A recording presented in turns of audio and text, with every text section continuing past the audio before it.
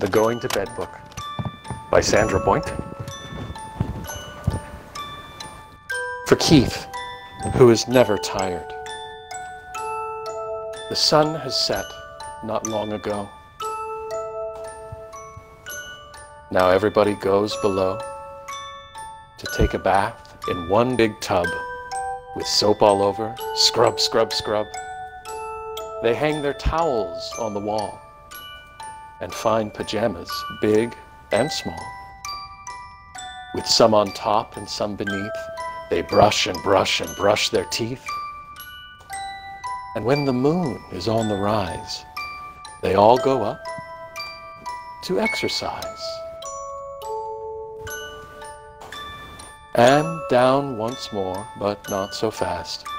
They're on their way to bed at last. The day is done. They say good night, and somebody turns off the light. The moon is high, the sea is deep. They rock and rock and rock to sleep. The end.